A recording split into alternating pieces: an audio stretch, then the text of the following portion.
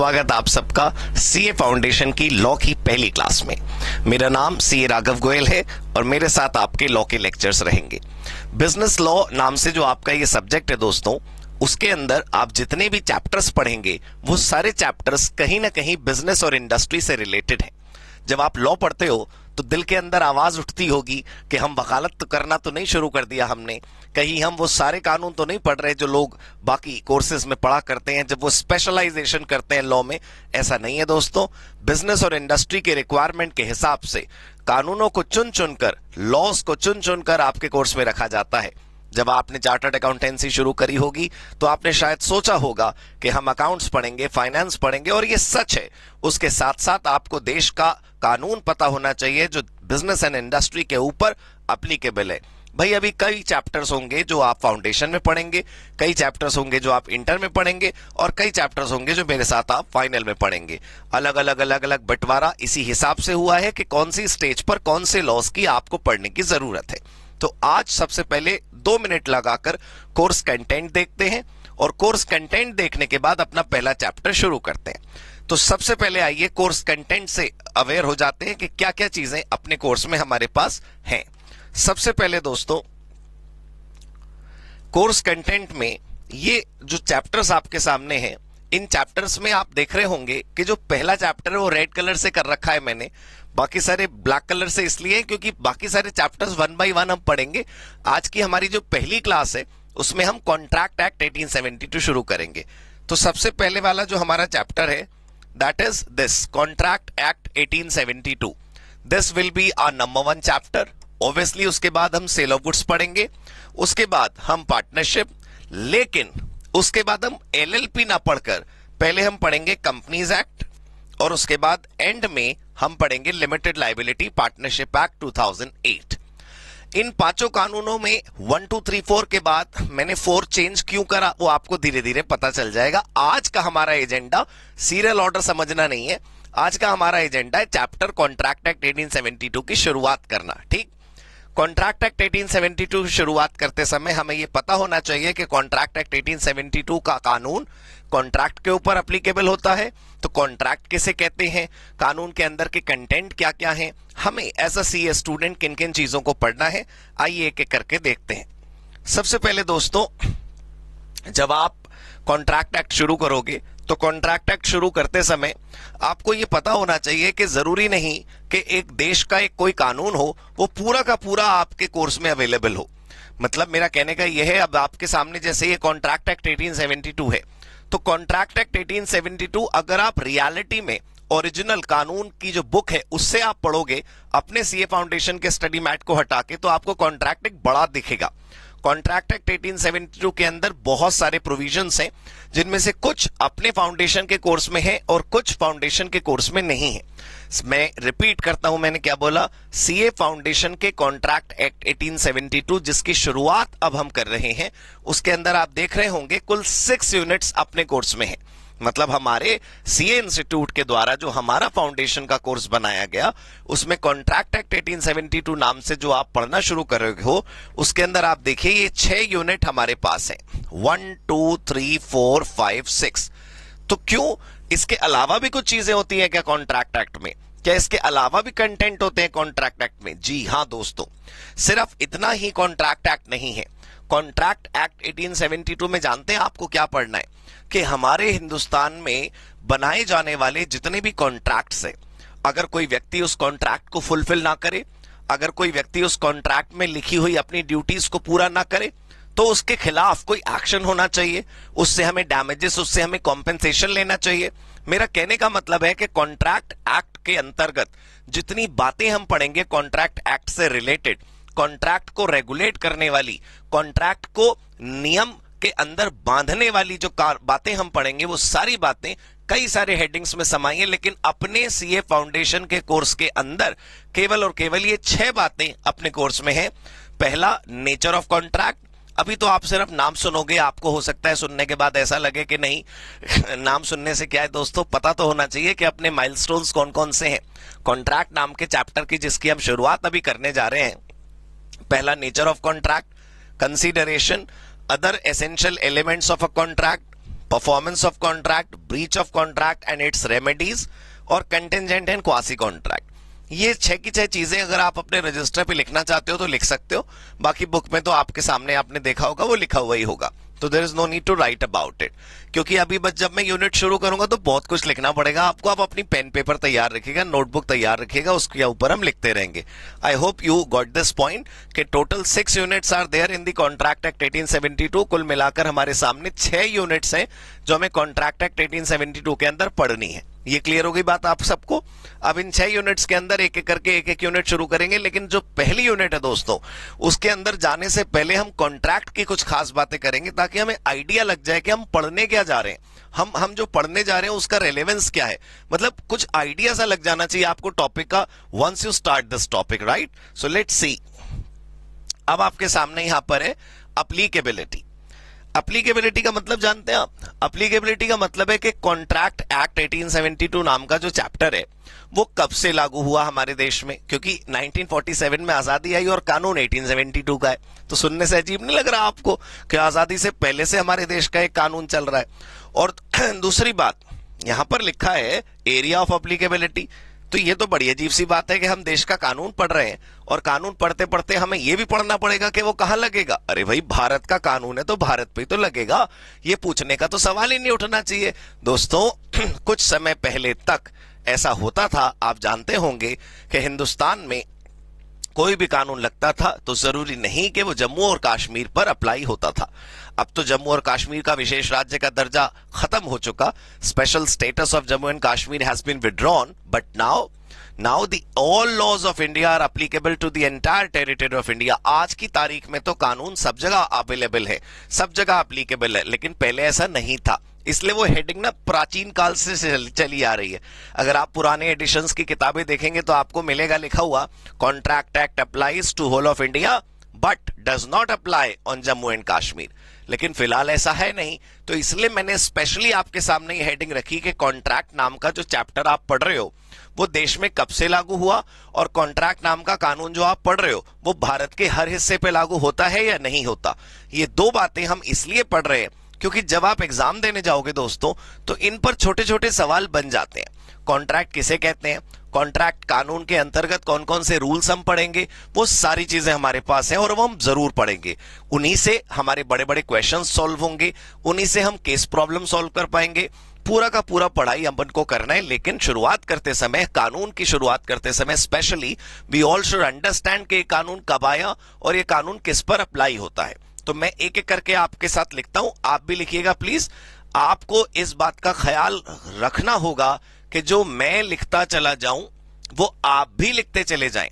मैं जैसे जैसे लिखूँगा वैसे वैसे आपको भी साथ साथ लिखना चाहिए राइट चलिए दोस्तों, सबसे पहली बात हमारे पास है अप्लीकेबिलिटी के कानून कब से अप्लाई हुआ विद इफ़ेक्ट फ्रॉम डेट तो सबसे पहली चीज़ लिखिए with effect from first September 1872 एक सितंबर 1872 से यह कानून हमारे भारत पर अप्लाई होता है। दूसरी बात later on adopted by Indian parliament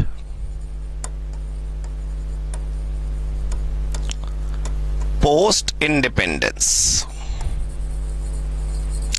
आपको सोचकर ऐसा लग रहा होगा, जब आप 1872 की तरफ़ देख रहे होंगे, कि अंग्रेज़ों के द्वारा बनाया हुआ कानून हम अपने निजी भारत के अंदर क्यों लगा रहे हैं?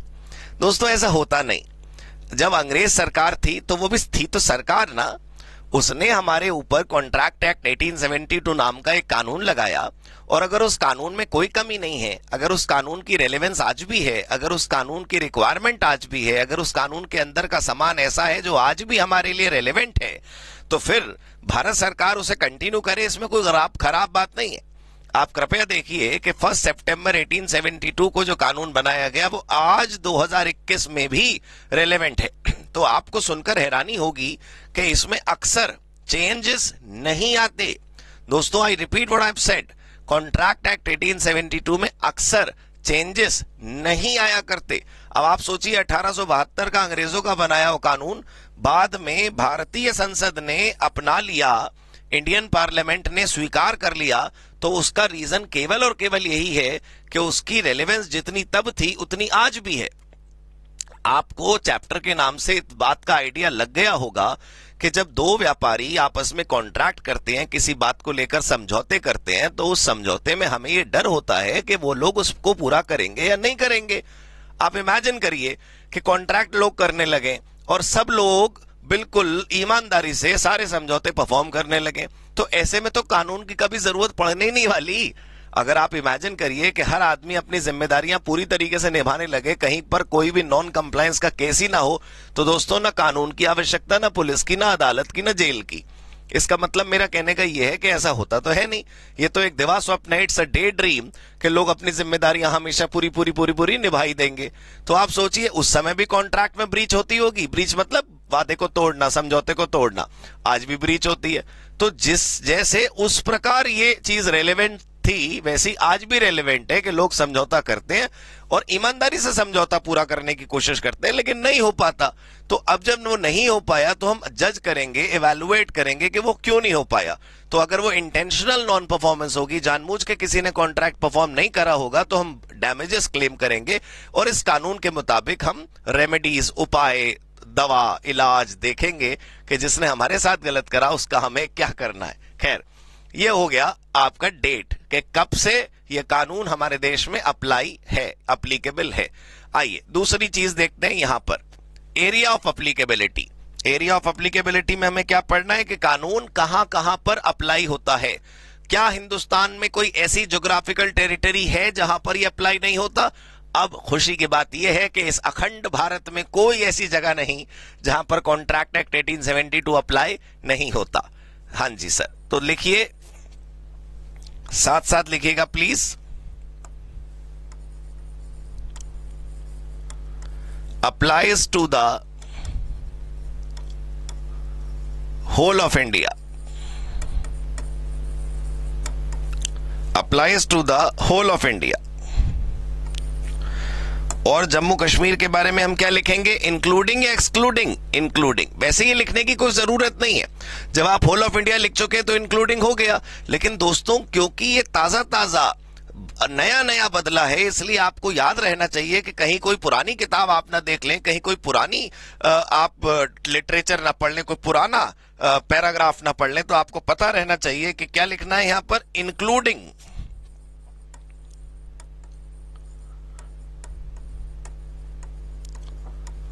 Jammu and Kashmir.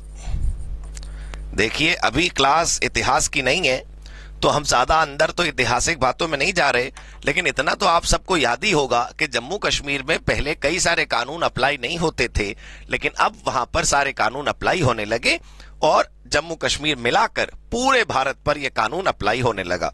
तो मुझे उम्मीद है आपको ये बात समझ आ गई। हमने यहाँ पर देखा कि कॉन्ट्रैक्ट एक्ट 1872 अप्लाई कहाँ पर होता है? पूरे भारत पर।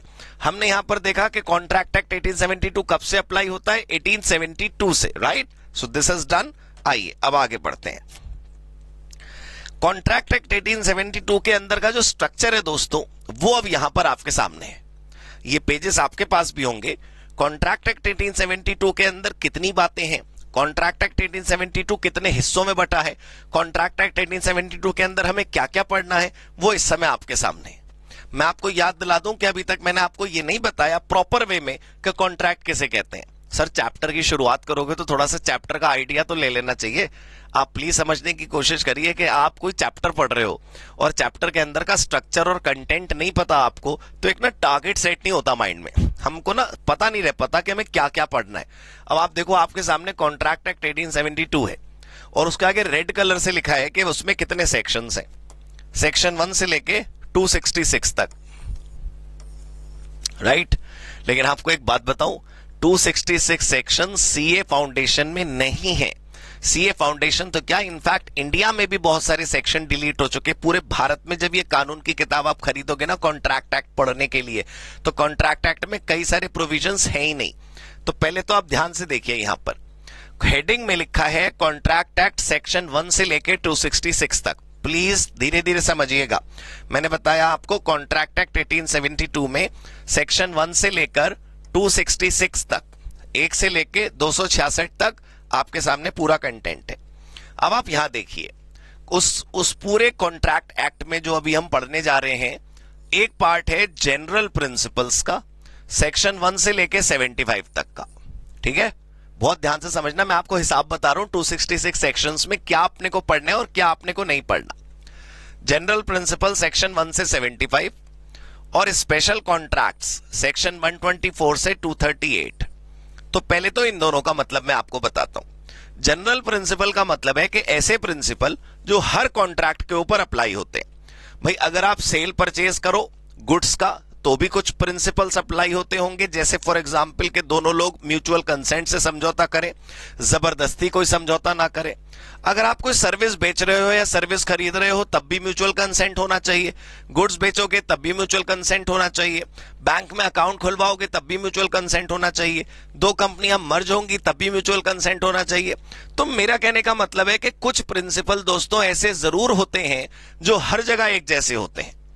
आप कोई भी कॉन्ट्रैक्ट कर लीजिए, किसी भी प्रकार का कॉन्ट्रैक्ट कर लीजिए, किसी के साथ भी कॉन्ट्रैक्ट कर लीजिए, कुछ नियम तो ऐसे ज़रूर मिलेंगे आपको जो एक जैसे होते तो जो कॉमन प्रिंसिपल है, जो नॉर्मल प्रिंसिपल है, जो सामान्य प्रिंसिपल है, जो एक जैसे प्रिंसिपल है, जो सब जगह यूनिवर्सली अप्लाई होने वाले प्रिंसिपल है कॉन्ट्रैक्ट से संबंधित, वो ये है।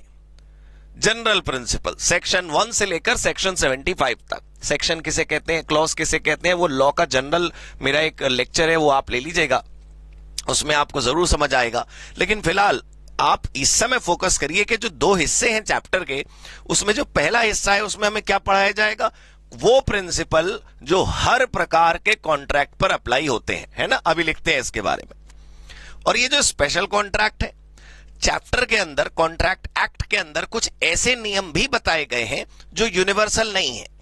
मैं उदाहरण देना चाहता हूँ आपको कि मान लीजिए बैंक लोन लेते समय बैंक लोन लेते समय लोन लेने वाले को लोन इतनी आसानी से मिला नहीं तो बैंक वालों से उसने पूछा कि भाई, क्या करूँ कि आप मुझे आसानी से लोन दे दो? बैंकर बोले कि, किसी से लिखवा दो कि अगर तुम नहीं चुकाओगे तो वो चुकाएगा। You mean to say guarantee right तो गारंटी से रिलेटेड कॉन्ट्रैक्ट गारंटी से रिलेटेड प्रिंसिपल्स गारंटी से रिलेटेड रूल्स यहाँ पर लिखे हैं। इसके अंदर आप पढ़िएगा, मैं नाम बोल के सुना रहा हूँ आपको। हो सकता है आपको समझ आए, हो सकता है आपको ना समझ आए। इंडेमनिटी गारंटी बेलमेंट प्लेज और एजेंसी ये कुछ विशिष्ट प्रकार के समझौते हैं जो इन सेक्शंस में समझाए गए, जिनके ऊपर भी जनरल वाले रूल तो लगते ही है, लेकिन उनके अपने खास नियम भी हैं। आई रिपीट जो चैप्टर अभी आप शुरू करने जा रहे हैं, उस कॉन्ट्रैक्ट एक्ट 1872 के अंदर दो बड़े हिस्से हैं। एक हिस्से के अंदर उन नियमों को पढ़ाया जाता है जो नियम बहुत कॉमन है। हर प्रकार के कॉन्ट्रैक्ट के ऊपर अप्लाई होते हैं। मैंने एग्ज़ाम्पल बताया फ्री कंसेंट जैसे, कि भाई अगर कोई दो लोग आपस में समझौता कर रहे हैं, वो किसी भी प्रकार का समझौता हो, आपस में फ्री कंसेंट होनी तो ज़रूरी है। बिल्कुल उसी प्रकार से कुछ और प्रिंसिपल भी हैं बट वो यूनिवर्सल नहीं है। जिनको हम स्पेशल कॉन्ट्रैक्ट मानते हैं। कुछ ऐसे समझौते हैं जो दोस्तों हर जगह नहीं पाए जाते। जब जब पाए जाते हैं तो कौन कौन से रूल लगेंगे वो यहाँ पर है। जैसे for example indemnity guarantee bailment pledge और एजेंसी इनका मतलब अभी धीरे धीरे आपको पता चलेगा। लेकिन मेरा सवाल आपसे ये है, ध्यान से देखिएगा, पूरे के पूरे कानून में सेक्शन वन से लेकर टू की सीरीज़ है। आपने देखा कि एक हिस्सा हो गया ये जिसमें वन से सेवेंटी फाइव है, और दूसरा हिस्सा हो गया ये जिसमें वन ट्वेंटी फोर से टू थर्टी एट है। मेरा सवाल यह है कि इसके आगे का हिस्सा क्या हुआ? भाई, ये सेक्शन सेवेंटी फाइव तक यहाँ है।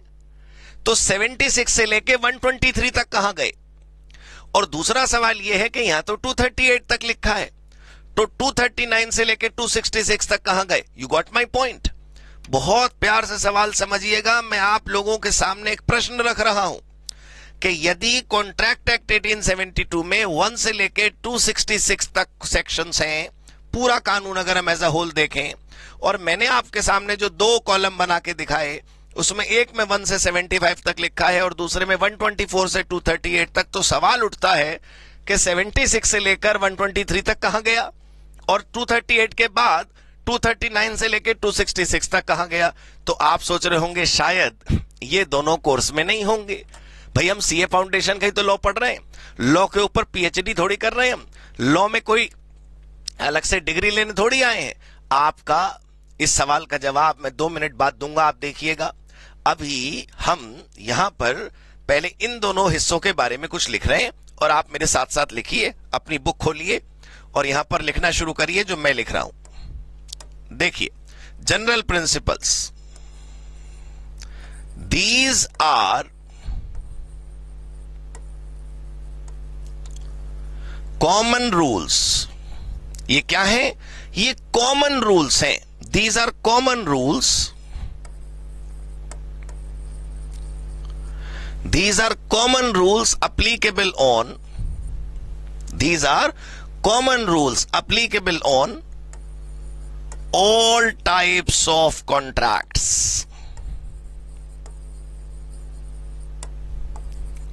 all types of contract कैसा भी समझौता कर लो, ये वो नियम है जो हमेशा लगे रहेंगे। दूसरा these rules are universal in nature for example example की बात करें फॉर एग्ज़ाम्पल जैसे क्या नियम? For example free consent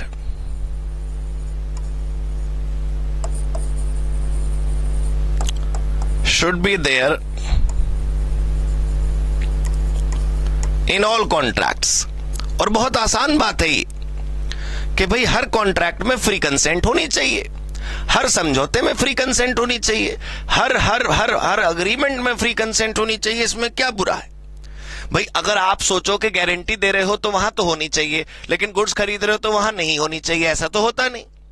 कैसा भी प्रकार का कॉन्ट्रैक्ट हो फ्री कंसेंट होनी चाहिए, दो पार्टियाँ आपस में होनी चाहिए, बदले में कंसिडरेशन होना चाहिए, ये कुछ ऐसे नियम यहाँ पर पढ़ाए जाएँगे इस वाले हिस्से में जिसके अंदर ये बताया जाएगा कि क्या क्या हर कॉन्ट्रैक्ट में अवेलेबल होना ही चाहिए. जनरल प्रिंसिपल 75 सेक्शन है टोटल और यहाँ पर दोस्तों क्या है? अच्छा अगर आपने ये ना लिखा हो तो आपको पता ना क्या करना है? वीडियो पॉज करनी है और ये लिखते रहना है. ये जितने भी पॉइंट्स हैं, वैसे तो कोशिश करिए कि आप मेरे साथ साथ ही लिख लें. लेकिन अगर नहीं भी लिख पाए तो बस आपके हाथ में ही सब कुछ है कंट्रोल पूरा. बस आपने रोका और लिखना शुरू कर दिया. राइट अब जरा स्पेशल कॉन्ट्रैक्ट देखते हैं. स्पेशल कॉन्ट्रैक्ट में मैंने आपको क्या बताया? ये कुछ विशिष्ट प्रकार के समझौते हैं, जो हर रोज और हर जगह नहीं होते। लेकिन ये जब भी होते हैं तो कौन कौन से रूल लगते हैं, वो यहाँ पर पढ़ाए जाते हैं। आइए जरा देखें। These are these are specific contracts. These are specific, बिल्कुल विशिष्ट, कुछ खास है यहाँ पर। These are specific contracts which are governed by, ये गवर्नड बाय समझते हो ना रेगुलेट होते हैं ये which are governed by separate rules मतलब यहाँ पर जो स्पेसिफिक कॉन्ट्रैक्ट्स हैं, जो विशिष्ट समझौते हैं, जो अलग से कुछ खास कॉन्ट्रैक्ट्स हैं उनके लिए रूल्स भी खास होते हैं, अलग होते हैं। तो सर कौन कौन से ऐसे खास समझौते हैं जो यहाँ पर पढ़ाए जाएँगे? सच कॉन्ट्रैक्ट्स आर कौन कौन से हैं? इंडेमनिटी गारंटी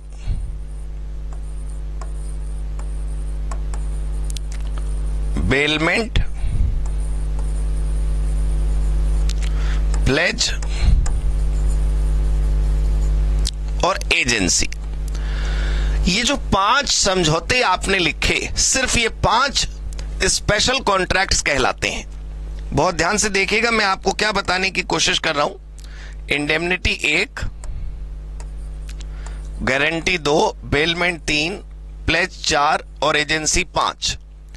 ये जो पाँच समझौते हैं दोस्तों, इनके ऊपर, जब ये पाँच समझौते बनाए जाएँगे तो इनके ऊपर ये जनरल रूल तो अप्लाई होते ही होते हैं। लेकिन इसके साथ साथ जनरल वाले नियमों के साथ साथ कुछ विशिष्ट रूल भी होते हैं जो यहाँ पर अप्लाई होते हैं। कुछ खास नियम होते हैं जो यहाँ पर अप्लाई होते हैं। ये वो खास नियम स्पेशल कॉन्ट्रैक्ट्स कहलाते हैं। राइट दोस्तों? अभी भी हमारे इस सवाल का जवाब नहीं मिला। कि वन से सेवेंटी फाइव ये है और 124 से 238 तक ये है। बीच के और आगे के सेक्शन कहाँ चले गए? अभी पक्का बताऊँगा ना, मैं आ रहा हूँ उस बात पर। लेकिन मैं एक और खास बात आपको यहाँ बताना चाहता हूँ कि आपको याद दिला दूँ कि आप सीए फाउंडेशन में हैं।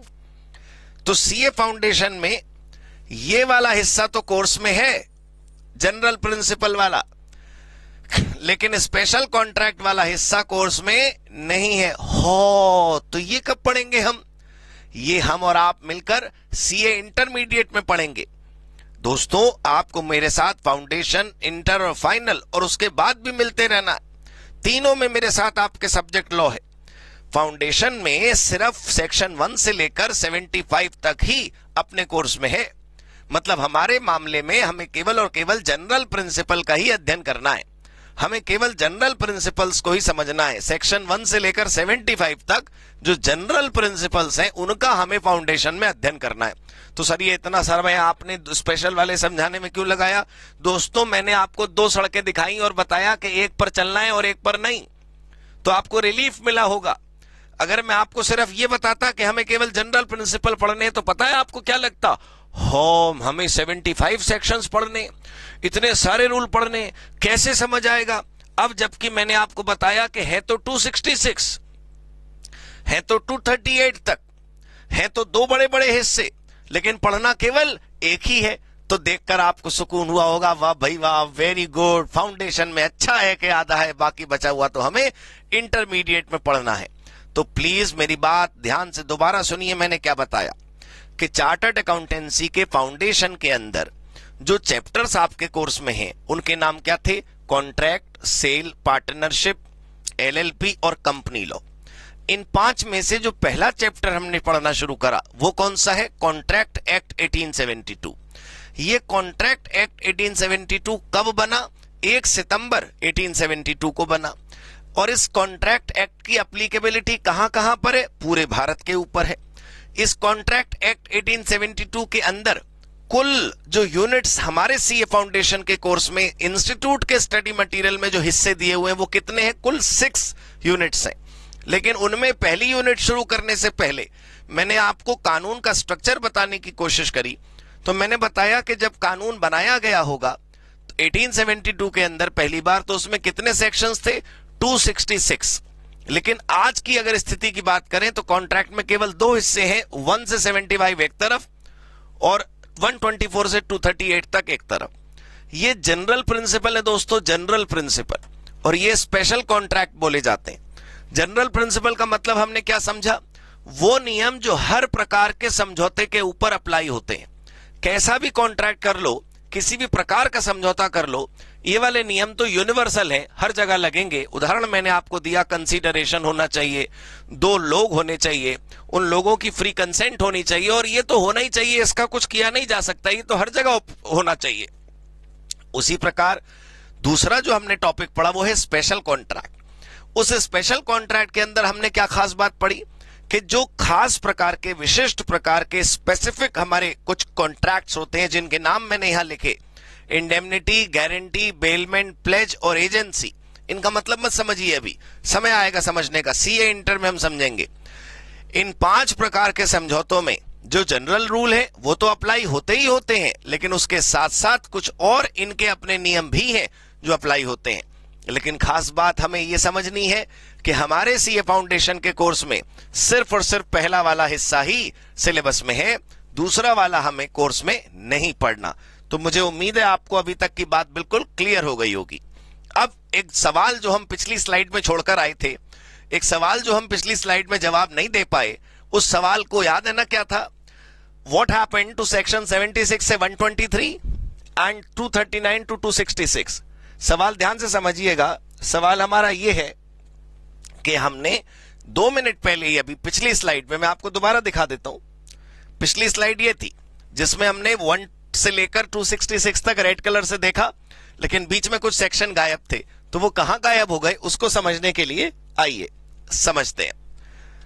एक तो 76 से लेकर 123 तक गायब है। है ना?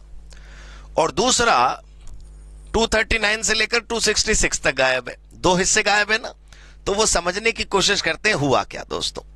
बहुत प्यार से समझिएगा कि जब कॉन्ट्रैक्ट एक्ट 1872 बनाया गया, पहली बार जब वो बनाया गया तो उसमें ये वाले जो सेक्शंस थे 76 से लेकर 123 तक, ये केवल और केवल सेल परचेज ऑफ़ गुड्स के ऊपर अप्लाई होते थे।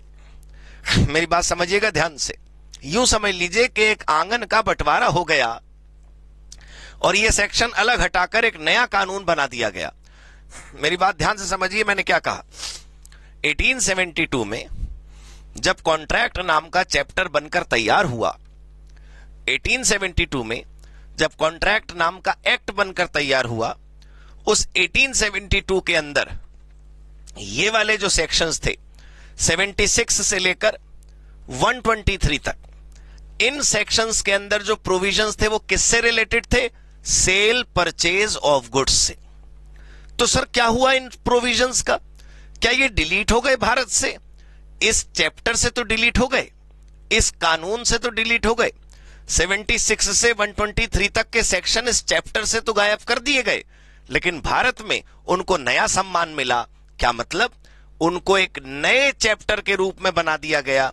एक नया कानून उसके अंदर से निकालकर बना दिया गया। ध्यान से देखिएगा मैंने क्या कहा आपसे। सेक्शन 76 से लेकर 123 तक के प्रोविजंस क्या कहते हैं? आइए इसको लिखते हैं। 76 से 123 जो कॉन्ट्रैक्ट एक्ट के अंदर था these provisions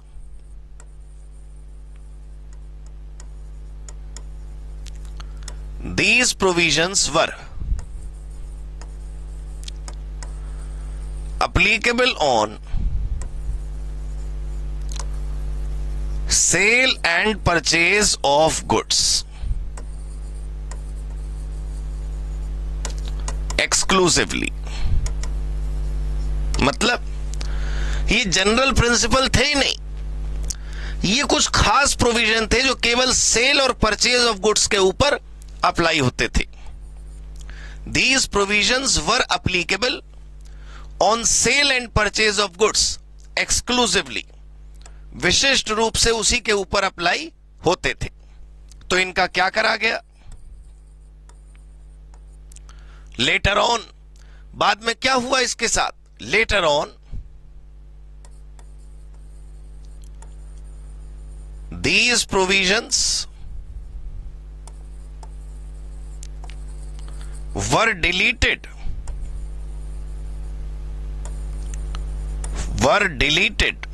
Later on these provisions were deleted from contract act 1872 and a new law was made और एक नया कानून बना दिया गया इनको लेकर और वो कानून का नाम क्या था आपको खुशी होगी जानकर के वो भी आपके कोर्स में है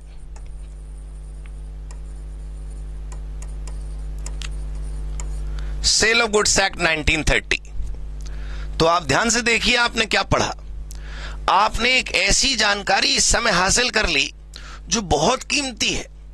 ये कोई सीक्रेट नहीं है जो आपको पता चल गया।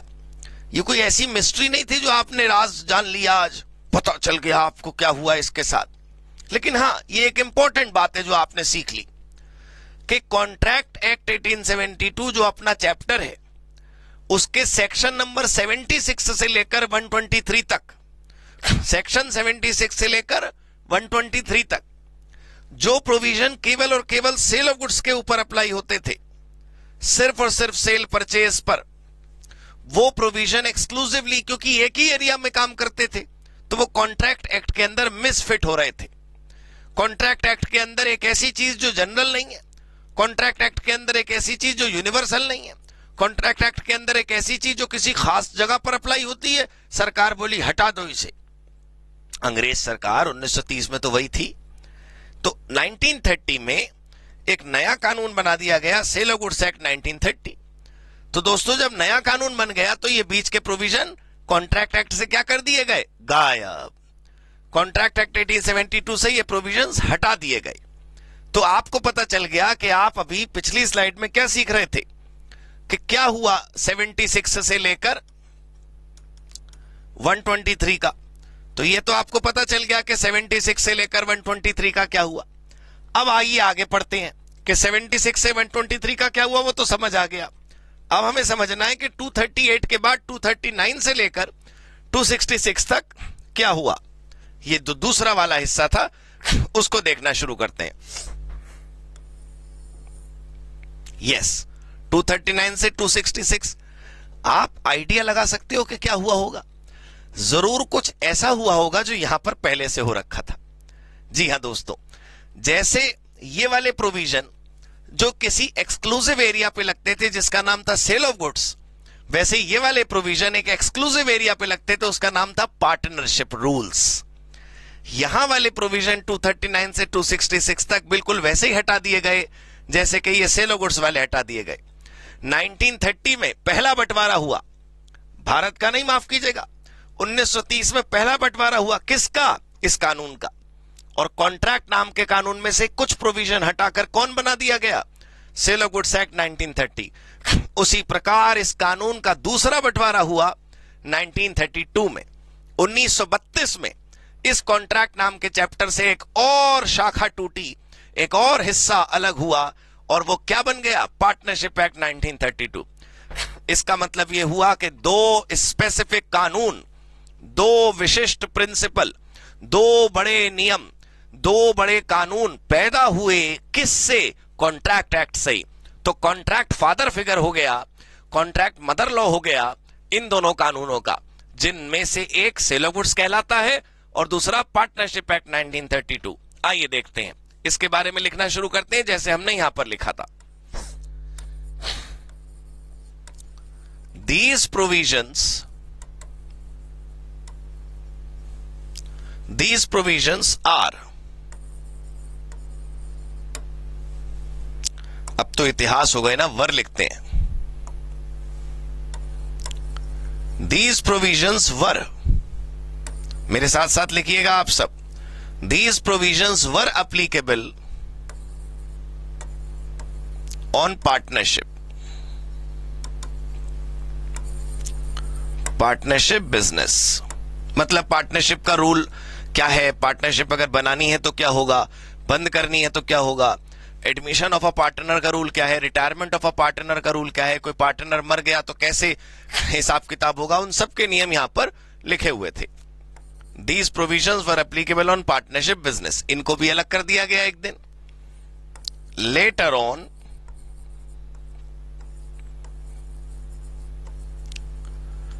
a separate law was made in the name of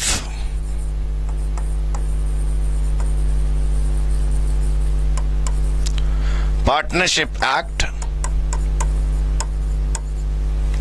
In the name of Partnership Act 1932 और ये जो मेन प्रोविज़न यहाँ पर थे, वहाँ से वो डिलीट कर दिए गए। बिल्कुल क्लियर हो गई जी बात? तो हमें ये समझ आया कि हमारे कॉन्ट्रैक्ट एक्ट के दो बड़े हिस्से कहाँ गायब हो गए। मैं एक बार फिर आपको ले जाना चाहता हूँ पुरानी वाली स्लाइड पे। यहाँ पर वन से लेके 266 का मैंने आपको हिसाब पूरा समझाया। मैं आपको याद दिला देता हूँ एक बार ये हटा करके।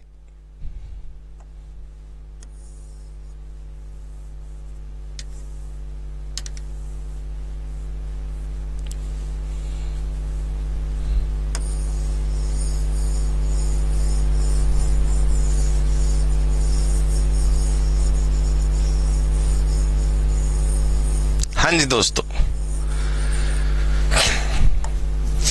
जो मुझे समझाना है, वो जरा एक मिनट ध्यान से देखिएगा।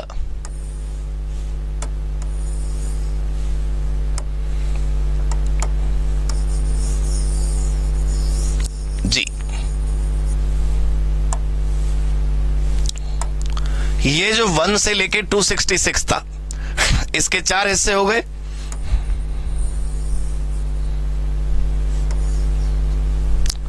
पहला हिस्सा वन से लेके सेवेंटी फाइव तक, जो अपने कोर्स में भी है और आज भी ज़िंदा है। इसका नाम क्या हो गया बताइए?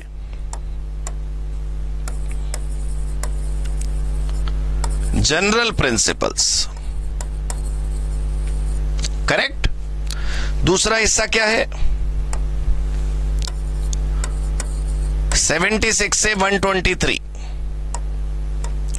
इसका क्या हुआ? ये सेलो गुड्स के प्रोविज़न थे और डिलीट करके अलग कानून बना दिया गया।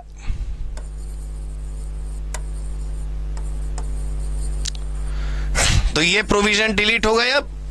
They are not present any more उसके बाद क्या हुआ? सेक्शन 124 से 238 किसके प्रोविज़न है?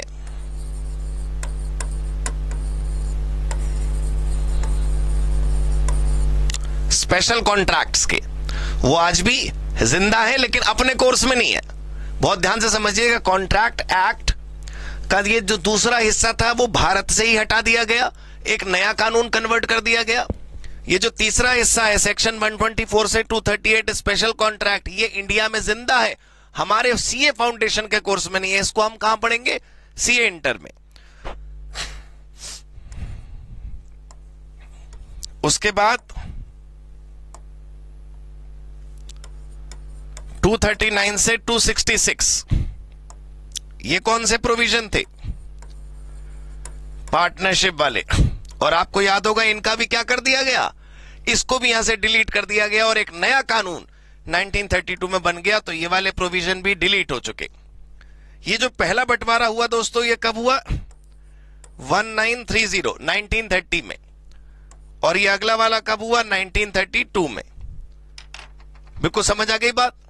बिल्कुल क्लियर हो गया? तो ये स्ट्रक्चर आपके सामने, जिस, जिसके में हमें समझ आया कि चार हिस्से हैं।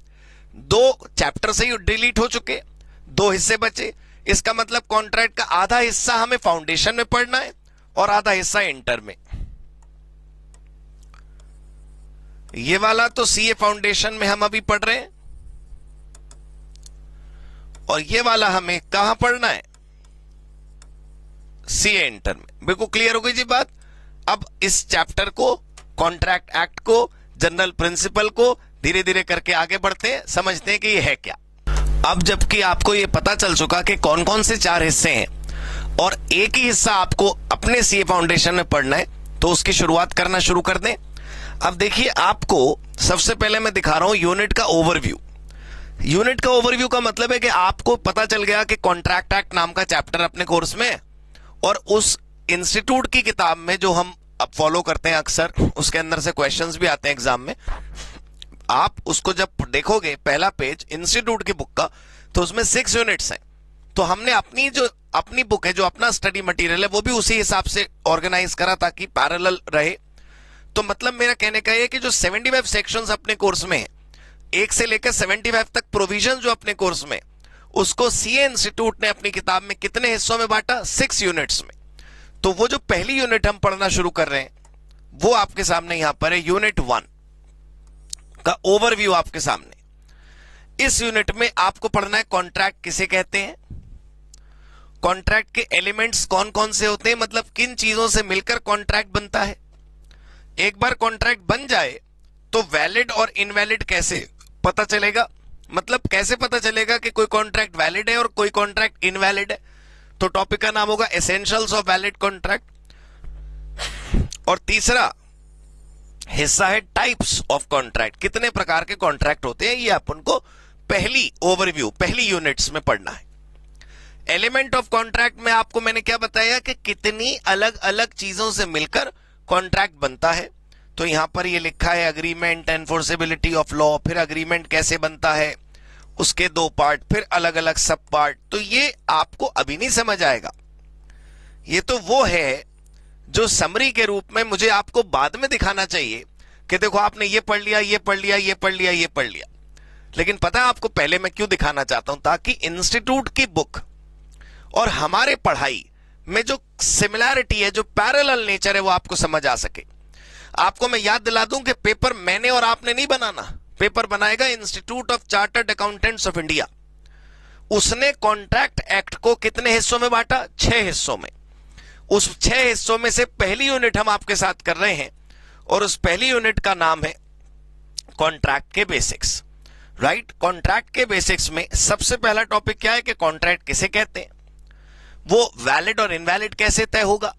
और वैलिड और इनवैलिड के बाद टाइप्स ऑफ़ कॉन्ट्रैक्ट कितने हैं? तो आपके सामने सबसे पहला हिस्सा है व्हाट इज़ कॉन्ट्रैक्ट अब आपको मेरी बात दो मिनट सुननी चाहिए। वैसे तो आप सुन ही रहे कॉन्ट्रैक्ट किसे कहते हैं?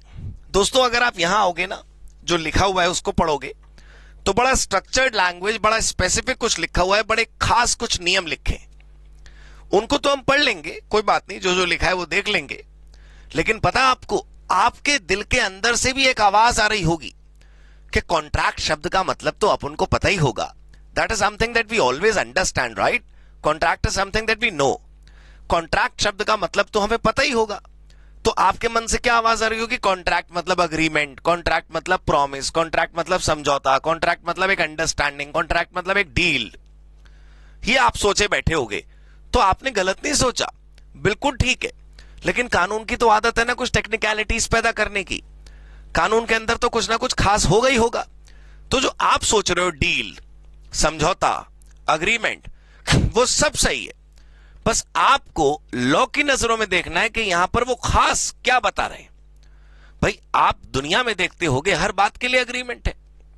अगर दो अलग अलग कंपनियाँ एक दूसरे से सेल परचेज करें तो वो भी कॉन्ट्रैक्ट है।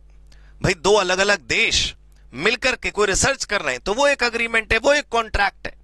भाई आप कृपया समझिए कि आप बैंक में अकाउंट खुलवा रहे हैं, वो भी एक कॉन्ट्रैक्ट है। आपने कोचिंग में एडमिशन लिया हमारी, वो भी एक कॉन्ट्रैक्ट है। आपने सीए इंस्टीट्यूट में जाकर एडमिशन लिया, वो भी एक कॉन्ट्रैक्ट है। तो जब दुनिया में सब जगह, हमारी आँखों के आगे, हमारे आगे पीछे हर जगह कॉन्ट्रैक्ट ही कॉन्ट्रैक्ट दिखता है तो कानून की भाषा में कॉन्ट्रैक्ट क्या होता है? हल्का सा वो समझ लेते हैं। तो हमें रियलिटी पता चलेगी, फ़र्क भी पता चलेगा कि जो हम सोच रहे थे जनरल और ये जो लोग लिख रहे हैं स्पेशल उसमें क्या फ़र्क है? एक एक करके देखिएगा। The term contract is defined under section two H ये जो टू एच है, याद रखिएगा। अच्छी बात है याद रहनी चाहिए। भूल जाए तो कोई दुख मनाने की ज़रूरत नहीं। एग्ज़ाम में गलत सेक्शन नंबर लिखने से अच्छा है कि आप सेक्शन नंबर ना लिखें। याद होना चाहिए, यह बढ़िया बात है आपकी। लेकिन, अगर न याद रहे तो चिंता नहीं करनी है और गलत बिल्कुल नहीं लिखना है। यह सेक्शन कॉन्ट्रैक्ट की डेफिनेशन बताता है। यह सेक्शन हमें कॉन्ट्रैक्ट शब्द का मतलब सिखाता है। तो जरा देखें क्या मतलब है an agreement enforceable by law is equal to contract अगर इसको हिंदी में ट्रांसलेट करूँ मैं तो ऐसा अग्रीमेंट जो लॉ के द्वारा क्या हो? एनफोर्सिएबल इसका मतलब पहले हमें अग्रीमेंट बनाना पड़ेगा, उसमें एनफोर्सेबल बाई लॉ ढूंढना होगा, और अगर ये दोनों मिल जाएँगे तो क्या बनकर तैयार होगा? कॉन्ट्रैक्ट मतलब नहीं समझ आया कुछ? मैं तो एक बात बता रहा हूँ कि अगर डेफिनेशन के टुकड़े करूँ, आप देख रहे हैं ना अलग अलग रंगों से लिख रखा है मैंने। एक अग्रीमेंट जो लॉ के द्वारा एनफोर्सिएबल हो मतलब छोड़ो मतलब बताऊँगा अभी। एक ऐसा अग्रीमेंट जो लॉ के द्वारा एनफोर्सिएबल हो। एनफोर्सिएबल का मतलब होता है लागू करना। एनफोर्सिएबल का मतलब होता है जिसे अदालत में ले जाकर आप जज साहब से कह सके, जज साहब देखो, राजू ने यह बोला था कर नहीं रहा राजू। देखो जज साहब, मैंने तो ये डील फाइनल करी थी, ये सामने वाली पार्टी फुलफिल नहीं कर रही। हर बात को, हर अग्रीमेंट को, हर समझौते को, हर वादे को, हर डील को आप अदालत में नहीं ले जा सकते। प्लीज़ इस लाइन को दोबारा देखिए। एक अग्रीमेंट जो लॉ के द्वारा एनफोर्सेबल हो, उसे कॉन्ट्रैक्ट कहते हैं। अभी तक तो हम सबको शायद ऐसा लग रहा था कि अग्रीमेंट और कॉन्ट्रैक्ट एक ही चीज़ होते हैं। अभी तक हम सबको ऐसा लग रहा था कि अग्रीमेंट और कॉन्ट्रैक्ट में कोई फ़र्क है ही नहीं। अभी तक हम सबको ऐसा लग रहा था कि अग्रीमेंट भी वही चीज़ है कॉन्ट्रैक्ट भी वही चीज़ है, लेकिन ऐसा है नहीं दोस्तों। अग्रीमेंट और कॉन्ट्रैक्ट में फ़र्क क्या समझ आया हमें? कि अग्रीमेंट तो है ही अग्रीमेंट लेकिन अगर अग्रीमेंट को कॉन्ट्रैक्ट बनाना है तो उसके अंदर क्या मिलाना पड़ेगा? एनफोर्सिएबल बाई लॉ इसका मतलब जानते हैं आप क्या हुआ? कि हर समझौता हर समझौता हर समझौता हर समझौता, हर डील कॉन्ट्रैक्ट नहीं हुआ करती। हम अगर अग्रीमेंट की हिंदी निकालें तो भी हमें लगेगा समझौता। हम कॉन्ट्रैक्ट की हिंदी निकालें तो भी हमें लगेगा समझौता। लेकिन दोनों में वही फ़र्क है जो पानी और जल में है। सुना है ना आपने हिंदी में पानी को जल भी कहते हैं? मतलब गंगा का पानी वो जल है और वो टंकी में पानी आया, वो जल नहीं है, ऐसा कैसे हो गया? प्लीज़ मेरी बात समझने की कोशिश करिएगा कि जितना पवित्र कॉन्ट्रैक्ट है, उतना पवित्र अग्रीमेंट ज़रूरी नहीं कि हो। यह भी समझौता है यह भी समझौता है। यह भी पानी है यह भी पानी है। लेकिन इस अग्रीमेंट वाले पानी को हम पानी कह रहे हैं, लेकिन कॉन्ट्रैक्ट वाले पानी को हम पानी ना कहकर जल नाम से बुलाते हैं। शायद कुछ खास होगा इसमें। और वो खास क्या है? एनफोर्सेबल बाई लॉ दो लोगों ने आपस में समझौता करा कि भाई देख बात सुन। ऐसे करेंगे ऐसे करेंगे ऐसे करेंगे ऐसे करेंगे। और उन लोगों ने वैसे नहीं करा। तो हमें एक दूसरे के खिलाफ अदालत में के, केस करने का अगर अधिकार है तो उसे बोलेंगे एनफोर्सेबल बाई लॉ और अगर नहीं है तो उसे बोलेंगे सिर्फ़ अग्रीमेंट इसका मतलब जानते हैं आप क्या हुआ कि समझौते जो हमारे जीवन में होते हैं वो दो प्रकार के होते हैं। समझौते जो हमारे जीवन में होते हैं, वो कितने प्रकार के होते हैं? दो। एक वो जिन्हें अदालत के अंदर आप ले जा नहीं सकते। पूरा हुआ तो ठीक, नहीं पूरा हुआ तो ठीक। ये तो बस ऐसी है, घर की बातें, आँगन की बातें, अंदर ही अंदर सुलझा लो।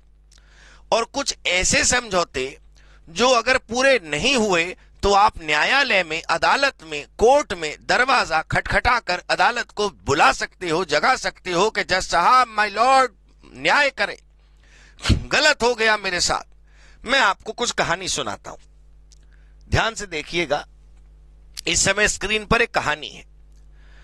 यहाँ पर लिखा है, बहुत प्यारी सी छोटी छोटी तीन कहानियाँ मैं आपको सुनाऊँगा और आपको समझ आ जाएगा कि कॉन्ट्रैक्ट किसे कहते हैं। फादर प्रोमिस हिज सन पिता ने पुत्र को वादा करा। क्या वादा करा? To pay him pocket allowance of rupees five hundred every month father ने प्रॉमिस करा है दोस्तों। वादा कर दिया जी। अपने बेटे को कि मैं तुझे पाँच सौ रुपए हर महीने दिया करूँगा पॉकेट मनी बेटा खुश? बाबूजी मान गए, पाँच सौ रुपए मिलेंगे, वाह भाई वाह। अगर वो दे देंगे तो हमें डिस्कस करने का मौका ही कहाँ मिलेगा? पक्का ऐसा होगा, आप जानते हैं कि वो पाँच सौ रुपए मिलेंगे कि नहीं मिलेंगे? बिल्कुल नहीं मिलने वाले, आप देखिए। बट ही रिफ्यूजेस टू पे वाह भाई वाह। बाद में मना कर दिया। अरे, अगर दे ही देते तो अपने कोर्स का टॉपिक कैसे बनता? प्लीज़ समझने की कोशिश करिए। क्लास की शुरुआत में मैंने आपको कुछ बताया कि लोग अपने वादे, लोग अपनी ज़िम्मेदारी अगर पूरी कर दें तो फ़ायदा ही क्या? हमारे लॉ का। बात तो तब उठेगी जब लोग अपनी ज़िम्मेदारी से मुकर जाएँ और पूरा ना करें। ये देखो आप। But he refuses to pay later. The son cannot, cannot, cannot recover the same in court of law. अदालत में जाकर बेटा ये मांग नहीं सकता। जज साहब बताओ बाबूजी ने वादा करा था पॉकेट मनी देने का पाँच सौ रुपए जज साहब पाँच सौ रुपए नहीं दिए गए बाबूजी से। अदालत में जाकर बच्चा कहने लगा जेल डाल दो बाबूजी को। मेरी पॉकेट मनी नहीं दी बताओ। वादा करने के बाद वादा खिलाफी कर दी। जज साहब देखो ये गलत हुआ। क्या ये बच्चा अदालत जाकर ऐसा केस कर सकता है? नहीं कर सकता। इसका मतलब यह हुआ कि वादा तो यहाँ भी है, ज़िम्मेदारी तो यहाँ भी है, समझौता तो यहाँ भी था, सब कुछ यहाँ पर भी था, लेकिन क्या नहीं था?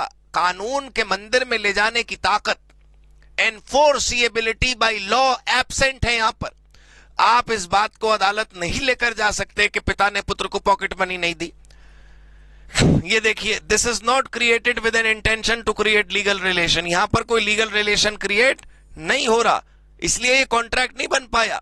सिर्फ़ वो वाले अग्रीमेंट कॉन्ट्रैक्ट बनेंगे जिनके अंदर कानून के मंदिर में जाने की संभावना होगी। सिर्फ़ वो समझौते जो अदालत का दरवाज़ा खटखटा पाएँगे, सिर्फ़ उन्हीं को कॉन्ट्रैक्ट कहा जाएगा। प्लीज़ समझने की कोशिश करिए, दो चोर आपस में चोरी करें मिलकर तो वो भी ये अग्रीमेंट करते हैं आपस में। कि भाई तू चोरी करियो और मैं ध्यान रखूँगा और जो सामान मिलेगा वो आपस में बांट लेंगे।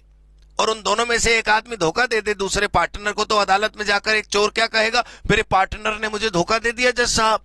मेरे साथ गलत हो गया। जज पूछेगा, कौन सा पार्टनरशिप का बिज़नेस था? तुम्हारा तो वो क्या बताएगा?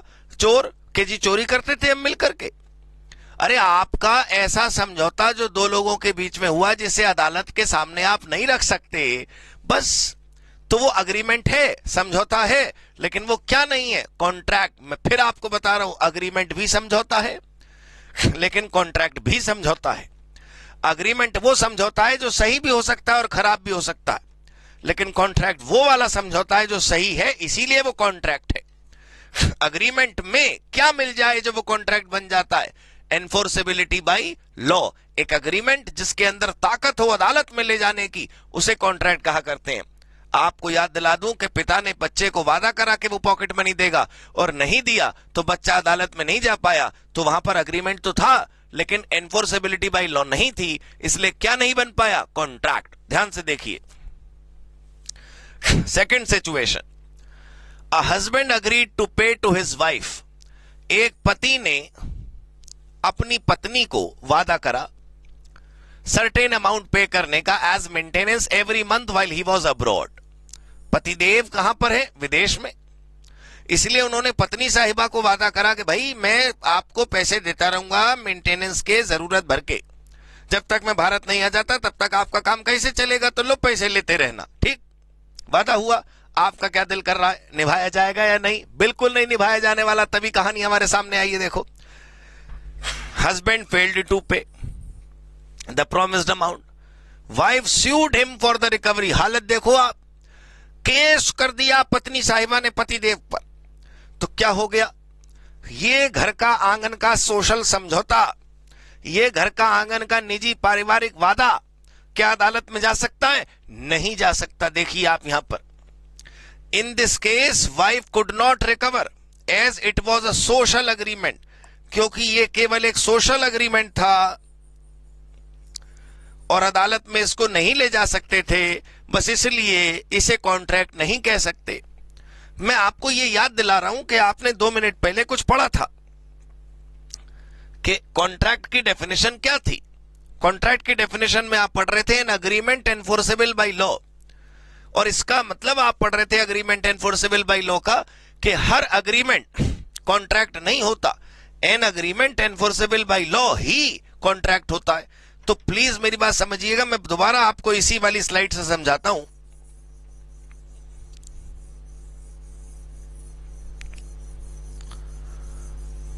अग्रीमेंट बनाना बड़ा आसान है। कोई भी दो लोग आपस में एक दूसरे से वादा कर दे, वो हो गया अग्रीमेंट उसमें क्या?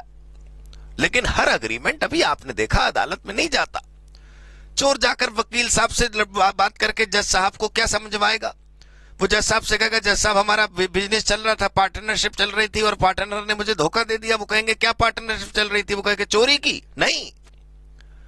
इसका मतलब यह हुआ कि दो लोग आपस में समझौता तो अच्छी चीज़ का भी कर सकते हैं, बुरी चीज़ का भी कर सकते हैं, सही का भी कर सकते हैं, गलत का भी कर सकते हैं। तो अग्रीमेंट तो बना बना लिया आपने, बात खत्म। अग्रीमेंट हो गया। अब अगर वो कोर्ट जा सकता है अग्रीमेंट तो तो कॉन्ट्रैक्ट है। और अगर वो अग्रीमेंट अदालत नहीं जा सकता तो वो कॉन्ट्रैक्ट नहीं। एक कहानी प्लीज़ आप और सुन लो। ये देखो जी, तीसरी कहानी। लेखपाल, कोई होंगे लेखपाल जी? उन्होंने वादा करा जी, वादा। क्या वादा करा उन्होंने? कि मैं पाँच लाख रुपए दूँगा। वाह भाई वाह, किसे पाँच लाख रुपए देंगे? अपने बेटे को। अगर सीए का एग्ज़ाम उसने पास कर लिया देखा डील बढ़िया नहीं। सीए का एग्ज़ाम पास करने पर पिता अपने बच्चे से कहा बेटा, पाँच लाख दूँगा, पाँच लाख, तू बस पास हो जा। ठीक, बच्चा बेचारा मासूम, पिता के वादे पर भरोसा करके वो पास हो गया। देखो on passing the exam the son claims the money बेटे ने पैसे मांगे, लाओ बाबू जी पाँच लाख दो, वादा हुआ था डील हुई थी, याद है? मैंने अपनी ज़िम्मेदारी निभाई, मैं पास हो गया, अब आप अपनी ज़िम्मेदारी निभाओ, लाओ पैसे दो। The son could not recover as it was a social agreement बताओ। रो रहा बैठ के बच्चा बेचारा मासूम दुखी में। मेरा कहने का मतलब समझिए कॉन्ट्रैक्ट की डेफिनेशन जो आपने देखी ना an agreement enforceable by law वो देखने से लगता है एक लाइन की, उसके अंदर पूरी दुनिया समाई हुई है। दूर से समुन्द्र को देखो तो ऐसा लगता है आपने पानी एक जगह इकट्ठा कर रखा है, लेकिन आप अंदर जाइए तो आपको गहराई का अंदाज़ा होगा। मेरी कहने का मतलब समझिए कि अग्रीमेंट एनफोर्सेबल बाई लॉ ऐसे एक छोटी सी लाइन दिखती है। आपको यह समझना चाहिए कि हर अग्रीमेंट कॉन्ट्रैक्ट नहीं बन जाता क्योंकि हर अग्रीमेंट अदालत नहीं जाता। तो पहले तो दो शब्दों का मतलब समझो आप। अग्रीमेंट किसे कहते हैं और एनफोर्सेबल बाई लॉ किसे कहते हैं? वो अग्रीमेंट वो अग्रीमेंट जो एनफोर्सेबल बाई लॉ होगा, उसे कॉन्ट्रैक्ट कहेंगे। तो अग्रीमेंट शब्द का मतलब और एनफोर्सेबल बाई लॉ का मतलब मिलकर हम लोग समझते हैं और फिर आपको आगे लेके चलूँगा मैं। ये थी डेफिनेशन यहाँ पर एक चीज़ तो ये समझनी है। व्हाट इज़ अग्रीमेंट और दूसरी चीज़ ये समझनी है what is enforceable by law बस हमें ये दो चीज़ें समझ आ जाए तो हमें कॉन्ट्रैक्ट समझ आ जाएगा। अग्रीमेंट क्या और कैसे? और एनफोर्सेबिलिटी बाई लॉ क्या और कैसे? बस खास बात आपको जो याद रखनी है हमेशा, कि हर अग्रीमेंट कॉन्ट्रैक्ट नहीं होता। हर चमकती चीज़ सोना नहीं होता। हर पानी को आप जल नहीं कहा करते। यहाँ तक क्लियर हो गई बात? अब देखो आप। अग्रीमेंट और एनफोर्सेबल बाई लॉ मैं आसान और सामान्य शब्दों में लिख रहा हूँ। आप भी मेरे साथ लिखिए, अच्छे से समझ आएगा। अग्रीमेंट में लिखिए। Promise made to each other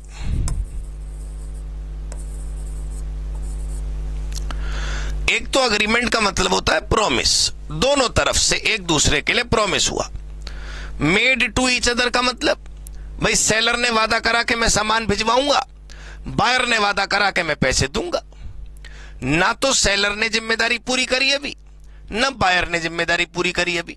seller और बायर दोनों ही लोगों ने अपनी अपनी ज़िम्मेदारी अभी पूरी नहीं करी, दोनों ही लोगों ने केवल क्या करा? वादा। सेलर और बायर दोनों ने अभी सिर्फ़ क्या करा है? प्रोमिस तो आपस में एक डील हो गई कि हम दोनों अपनी अपनी ज़िम्मेदारी निभाएँगे। या फिर promise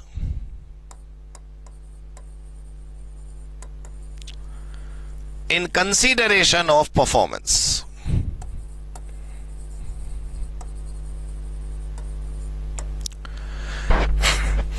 promise in consideration of performance यहाँ पर क्या मतलब है? जो पहला वाला है दोस्तों टू साइड प्रॉमिस है। टू साइड प्रॉमिस का मतलब दोनों तरफ़ वादा ही वादा है। और यहाँ पर इसका मतलब क्या है?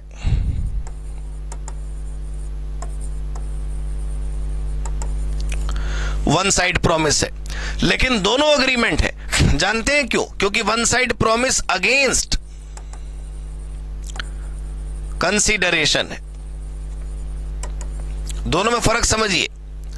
भाई ए ने बी को वादा करा बी ने ए को वादा करा। वो कह रहा मैं पैसे दूँगा, वो कह रहा मैं सामान दूँगा। तो दोनों ने वादा करा, ना एक ने दूसरे को लिए निभाया भी, ना दूसरे ने। पहले के लिए दोनों की ज़िम्मेदारी पूरी होनी अभी बाकी है। तो वो ये केस है टू साइड प्रोमिस और ये वन साइड इसलिए नहीं है कि आप कहीं दान दे रहे हो, जा, मैंने तुझे दान दिया। सामने वाले से थोड़ी पूछना है दान देने से पहले। यहाँ पर सामने वाले ने आपके लिए परफॉर्म कर दिया। आपने रेलवे का टिकट खरीदा तो आप तो अपनी ज़िम्मेदारी पूरी कर चुके ट्रेन में टिकट खरीदने की। अब तो ट्रेन वालों को ज़िम्मेदारी निभानी है आपको ले जाने की। आपने फ़्लाइट का टिकट खरीदकर अपनी ज़िम्मेदारी पूरी कर दी एज अ कस्टमर अब as a service provider airlines वालों की ज़िम्मेदारी है कि वो आपको एक जगह से दूसरी जगह लेकर जाएँ। इन दोनों में बड़ा फ़र्क क्या है कि यहाँ भी प्रॉमिस है, यहाँ भी प्रॉमिस है। यहाँ प्रॉमिस के बदले क्या मिली? प्रॉमिस और दूसरे में प्रॉमिस के बदले क्या मिला? परफॉर्मेंस तो मतलब हमें बदले में कुछ चाहिए। एक तरफ़ से चाहिए प्रॉमिस याद रखिएगा। एक तरफ़ से क्या चाहिए? प्रॉमिस याद रखिएगा ज़रूर, एक तरफ़ से क्या होना चाहिए? प्रॉमिस और बदले में हमें चाहिए कुछ। अब वो जो बदले में कुछ आ रहा है, वो चाहे वादा ही हो, या बदले में कुछ और हो। पहले वाले में वादे के बदले वादा, और दूसरे में वादे के बदले कुछ और।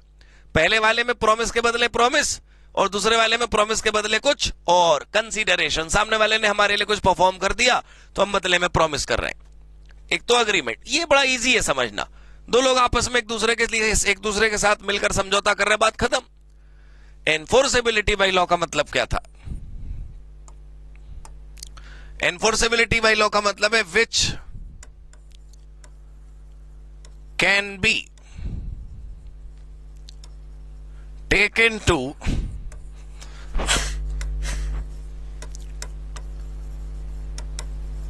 which can be taken to the court of justice जो अदालत में ले जाई जा सके, न्यायालय में ले जाई जा सके which can be taken to the court of justice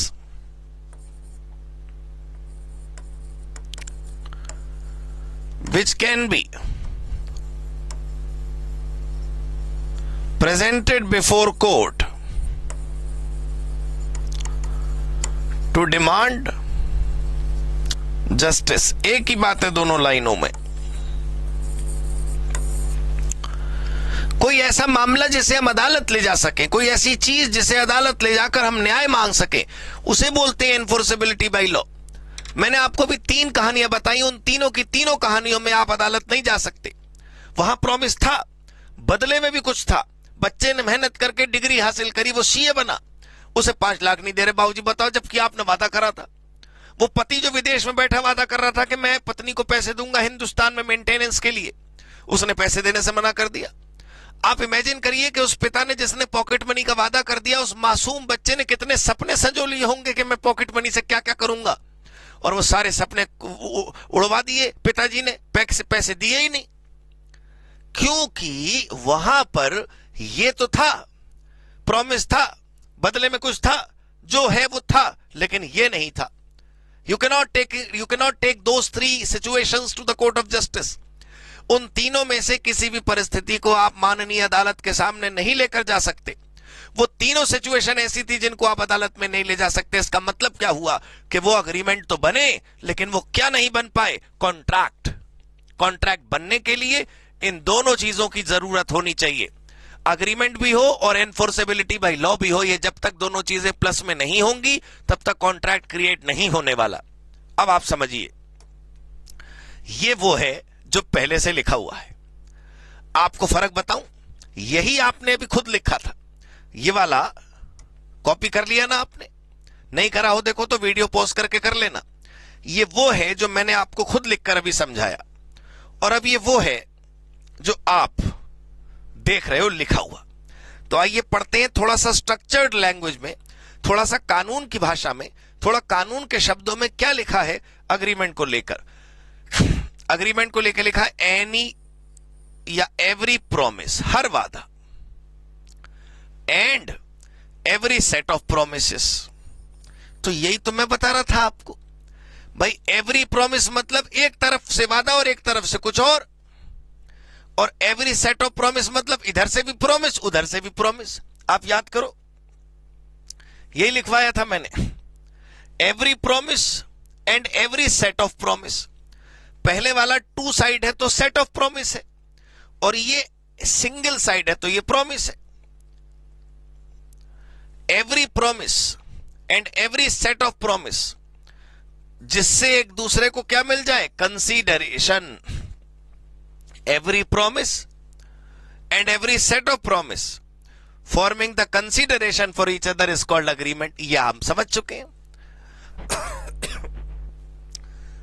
sorry और ये दूसरा हिस्सा क्या है? एनफोर्सेबिलिटी बाय लॉ वाला। कि ऐसा समझौता जिसे अदालत के सामने पेश किया जा सके। An agreement to become a contract must give rise to a legal obligation पहले से हाईलाइटेड कर रखा है हमने। एक ऐसा अग्रीमेंट जो किसी कानूनन ज़िम्मेदारी को जन्म दे। एक ऐसा अग्रीमेंट जिसकी ज़िम्मेदारी अगर पूरी नहीं करी तो अदालत का सामना आपको करना पड़ सकता है। एक ऐसी ज़िम्मेदारी जो ड्यूटी बन जाए कानून की नज़रों में और अगर वो पूरी ना हो तो बस जो अदालत करेगी, वही होगा। इसका मतलब दोस्तों ये है प्लीज़ समझने की कोशिश करिएगा कि कॉन्ट्रैक्ट बनाने के लिए कॉन्ट्रैक्ट बनाने के लिए दो बड़ी चीज़ों की ज़रूरत है। एक अग्रीमेंट और एक एनफोर्सेबिलिटी बाई लॉ कॉन्ट्रैक्ट बनाने के लिए जिन दो चीज़ों की ज़रूरत है, उसमें पहली चीज़ है एक अग्रीमेंट दो लोगों का करा हुआ आपस में समझौता। और वो समझौता अगर कानूनन ज़िम्मेदारी को जन्म दे तो वो कॉन्ट्रैक्ट हो जाता है। अग्रीमेंट एक साधारण पानी है और कॉन्ट्रैक्ट एक अच्छा जल है। इस बात को समझने के लिए आपको याद होगा कि मैंने आपको ये तीन कहानियों से रूबरू करवाया। ये तीनों कहानियाँ जब मैं आपको बता रहा था तो आपको अच्छे से ये समझ आ गया कि इन तीनों कहानियों में कुछ ऐसा था, जिसकी वजह से हम अदालत नहीं जा पा रहे थे। तो हमें यह बात क्लियर हो गई कि हर समझौता अदालत में नहीं जाता। तो हमें यह समझ जाना चाहिए कि जो समझौता अदालत में नहीं जाता, वो वहीं रह जाता है कहाँ? अग्रीमेंट की स्टेज पर। और जो अदालत जा सकता है, वो बनकर निखर कर उभर कर सामने आता है और उसका नाम क्या है? कॉन्ट्रैक्ट तो अब हमारी ज़िम्मेदारी बनती है कि हम अग्रीमेंट और कॉन्ट्रैक्ट का अंतर थोड़ा सा तो समझ चुके और पूरा समझ जाते हैं। वैसे मैं आपको बता चुका हूँ, कोई भी दो लोगों का आपस में करा हुआ वादा अग्रीमेंट तो है। बस उसमें एनफोर्सेबिलिटी बाई लॉ जोड़ दें तो वो क्या बन जाता है? कॉन्ट्रैक्ट राइट देखिए। पहले अग्रीमेंट में लिखते हैं। एवरी प्रॉमिस और set of promise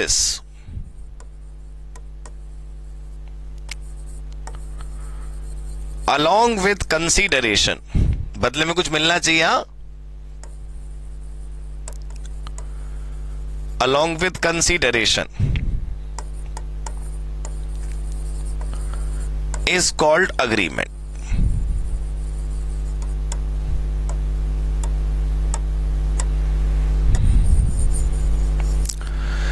मतलब ये हिस्सा प्लस ये कंसीडरेशन अगर मिल जाए तो क्या बन जाता है? अग्रीमेंट और बस वही अग्रीमेंट अगर एनफोर्सेबल बाई लॉ हो तो वो क्या बन जाता है? कॉन्ट्रैक्ट अब देखो आप।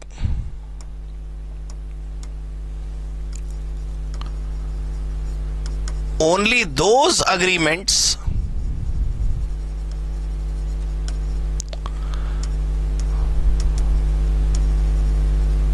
which can be taken to the court are called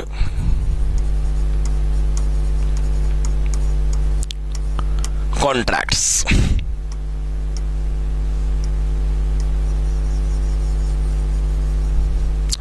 केवल वो वाले अग्रीमेंट जो कोर्ट ले जाए जा सकते हैं, उन्हें कॉन्ट्रैक्ट कहते हैं।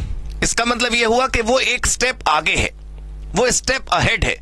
वो एडवांस्ड है। वो सही है। तभी वो कॉन्ट्रैक्ट क्योंकि जो अदालत जाएगा वो सही होगा। और ये अदालत हो सकता है जाए, हो सकता है ना जाए।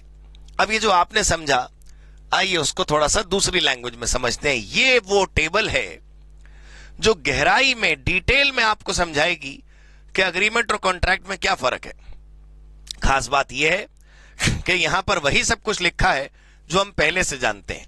यहाँ पर वही सब कुछ लिखा है जो हमने अभी तक सीखा। राइट आइए एक एक करके इसको पढ़ते हैं। पहला अंतर देखते हैं। मीनिंग का। और वो मीनिंग जो आपको अच्छे से याद होगा मीनिंग देखिए क्या है। हर प्रॉमिस और set of promise plus consideration याद है ना? ये जो ऑफ़र और एक्सेप्टेंस है, ये अभी मैं चाहता हूँ कि आप ना देखें, क्योंकि अभी आपको ये पढ़ना है कि अग्रीमेंट कैसे बना। और अग्रीमेंट बना प्रॉमिस से। तो एक्चुअल में ऑफ़र और एक्सेप्टेंस प्रॉमिस की डेफिनेशन है। प्रॉमिस कैसे बना, वो आपको जब बताया बताया जाएगा, तब हम पढ़ेंगे ऑफ़र और एक्सेप्टेंस और कॉन्ट्रैक्ट में हमने देखा अग्रीमेंट में अगर लीगल एनफोर्सेबिलिटी जुड़ जाए तो वो कॉन्ट्रैक्ट बन जाता है, ये आप अंतर पढ़ चुके हैं. दूसरा अग्रीमेंट एक वाइडर टर्म है, क्योंकि उसमें लीगल इलीगल सही, गलत, अच्छे, बुरे, बड़े, छोटे, हर प्रकार के समझौते इंक्लूडेड है. भाई कोर्ट में जा पाएँगे, वो वाले भी अग्रीमेंट है, और कोर्ट में जो नहीं जा पाएँगे, वो वाले भी अग्रीमेंट है. सोशल भी अग्रीमेंट है और लीगल भी अग्रीमेंट है वैलिड भी अग्रीमेंट है इनवैलिड भी अग्रीमेंट है। लेकिन जो कानून की नज़रों में ठीक है, केवल वही क्या बनते हैं? कॉन्ट्रैक्ट ये देखो आप। ये नैरो है, क्योंकि केवल लीगल एनफोर्सेबल वाले समझौते ही कॉन्ट्रैक्ट कहलाते यहाँ पर ज़रूरी नहीं कि कोई लीगल ओब्लिगेशन ज़िंदा हो, पैदा हो, बने, सामने आए। अग्रीमेंट में अभी आपने बताया ना सोशल वाले भी अग्रीमेंट्स होते हैं, अभी आपने सीखा। लेकिन यहाँ पर लीगल ओब्लिगेशन होना ज़रूरी है। कॉन्ट्रैक्ट के अंदर कानूनन ज़िम्मेदारी उत्पन्न होती है। यहाँ पर देखिए, हर अग्रीमेंट कॉन्ट्रैक्ट नहीं बन सकता। तीसरे माले पर कोई हो थर्ड फ्लोर पर कोई हो तो ज़रूरी थोड़ी है फोर्थ पे जाएगा। पहले अग्रीमेंट बना तो ज़रूरी थोड़ी और आगे बढ़ा। लेकिन जो कॉन्ट्रैक्ट बना होगा, जो सबसे आगे बढ़ा होगा कॉन्ट्रैक्ट जो बना होगा, वो अग्रीमेंट तो बनने के बाद ही आया होगा। याद करिए रूल क्या है? Agreement plus enforceability by law is equal to contract तो ये सोचिए कि जो कॉन्ट्रैक्ट बन गया, वो पहले अग्रीमेंट तो रहा ही होगा। तो हर कॉन्ट्रैक्ट अग्रीमेंट होता है। हर कॉन्ट्रैक्ट अग्रीमेंट होता है, लेकिन हर अग्रीमेंट कॉन्ट्रैक्ट नहीं होता, क्योंकि जो आज यहाँ पर है, हो सकता है उसमें प्लस एनफोर्सेबिलिटी आ पाए ना आ पाए इसी बात के ऊपर अगर क्वेश्चन आपसे पूछा जाए ये देखिए क्वेश्चन है। ऑल कॉन्ट्रैक्ट्स आर अग्रीमेंट इतना हिस्सा तो ट्रू है। लेकिन all agreements are not contract ये वाला हिस्सा भी ट्रू है। सारे अग्रीमेंट कॉन्ट्रैक्ट नहीं बन सकते, क्योंकि हो सकता है अग्रीमेंट एनफोर्सेबल हो हो सकता है ना हो। अगर वो एनफोर्सेबल होगा तो वो कॉन्ट्रैक्ट बनेगा, और अगर वो एनफोर्सेबल नहीं होगा तो वो कॉन्ट्रैक्ट नहीं बनेगा राइट तो आपको अगर यही क्वेश्चन एग्ज़ाम में पूछा जाए तो एस इस प्रकार से आंसर नहीं लिखना है इतना बड़ा। मैंने क्या करा दोस्तों, ये वो है पेज जो आपकी बुक में भी होगा। ये वो लाइनें हैं जो आपकी बुक में भी लिखी होंगी। यहाँ पर वही समझाया गया है जो मैं अभी आपको समझा रहा हूँ। यहाँ पर यह बताया जा रहा है कि अगर अग्रीमेंट होता है दो लोगों के बीच में, और एनफोर्सेबल नहीं है तो वो कॉन्ट्रैक्ट नहीं है। लेकिन अगर वो कॉन्ट्रैक्ट होगा तो वो एनफोर्सेबल ज़रूर होगा। तो जो आपने अभी सवाल देखा, जो आपने अभी बातें सुनी, अगर उसको आप डिस्क्राइब करो तो थोड़ा सा ऐसे आप डिस्क्राइब कर सकते हैं। पता है दोस्तों, होता ही है कि जब हम समझ रहे होते हैं टॉपिक तो समझ आ जाता है फ्लो चार्ट से। समझ आ जाता है डायग्राम से। समझ आ जाता है उन छोटी छोटी बातों से जो हम सीखते हैं। लेकिन अगर एग्ज़ाम में फाइव मार्क्स का क्वेश्चन आए, वही वाला जो मैंने अभी आपको बताया तो थोड़ा सा ये इस प्रकार से आप लिख सकते हैं। वैसे लिखना कैसे है? क्वेश्चन के आंसर को प्रेजेंट कैसे करना है? मैं समझाऊँगा। वो समय आएगा अभी समझने का। अभी तो फ़िलहाल आपको ये समझना है कि आपका जो अग्रीमेंट और कॉन्ट्रैक्ट का डिफरेंस था, वो डिफरेंस समझने के बाद हमें यह पता चला कि पहली सीढ़ी अग्रीमेंट है। पहली सीढ़ी कॉन्ट्रैक्ट नहीं है।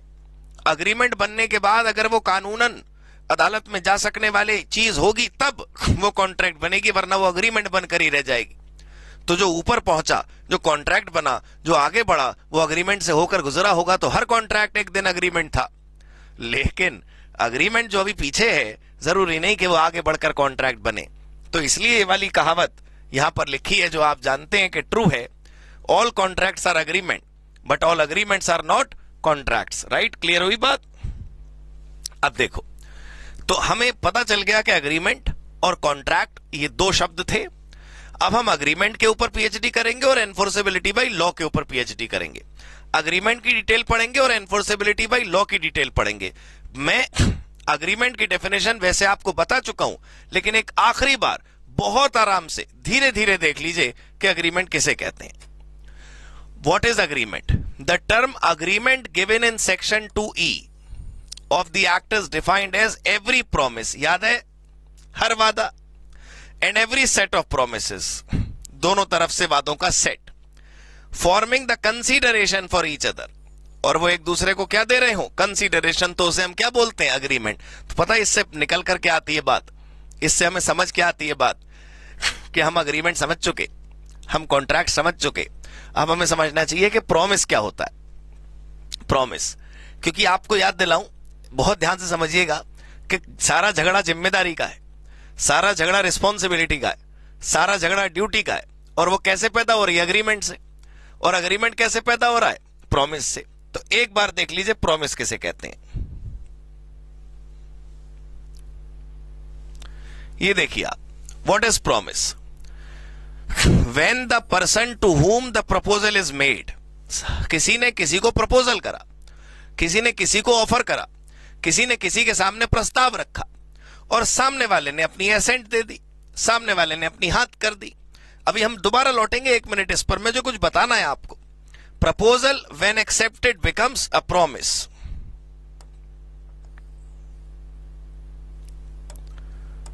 ये देखिए proposal when accepted becomes a promise जब ऑफ़र क्या हो जाता है? एक्सेप्ट तो वो क्या बन जाता है? प्रोमिस अभी मैं आपको असल में बताना यह चाहता हूँ कि सीढ़ी दर सीढ़ी स्टेप बाय स्टेप, कहानी आगे बढ़ी कैसे? पढ़ना शुरू करा था हमने कॉन्ट्रैक्ट और उस कॉन्ट्रैक्ट को समझने के लिए, इस समय जो आपके सामने यहाँ पर खाली लाइनें हैं, वो एक्चुअली स्टेप्स हैं कि कॉन्ट्रैक्ट कैसे बनता है।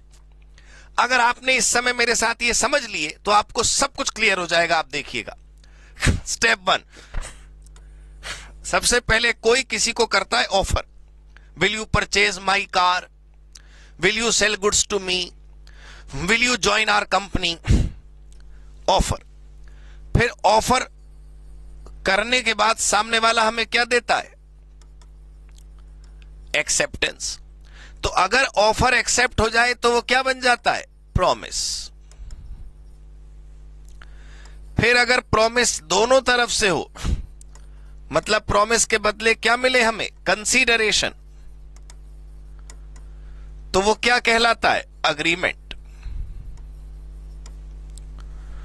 और अग्रीमेंट अगर एनफोर्सेबल बाई लॉ हो